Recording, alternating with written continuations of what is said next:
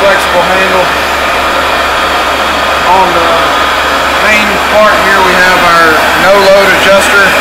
So as you turn it, you can see the tube, it increases in suction or decreases.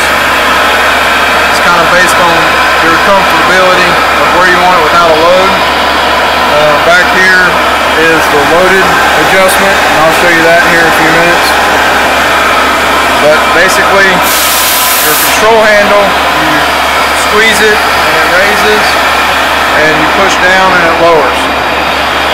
So we have a box sitting at 26 inches, which is the lowest point we'll be picking up.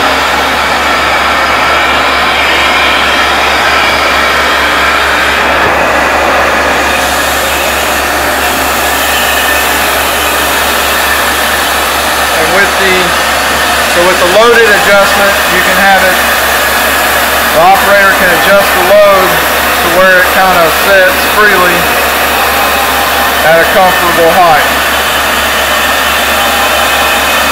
Then this allows you to move it around. And if you need to raise it, you just squeeze the handle and push the handle to lower.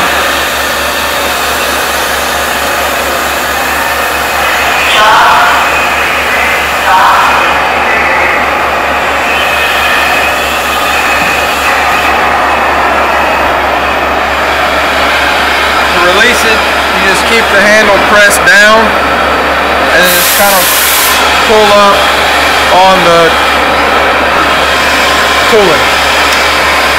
So now we're going to simulate dropping a box off with the top of the box at 68 inches and uh, this was based on the height that we were given.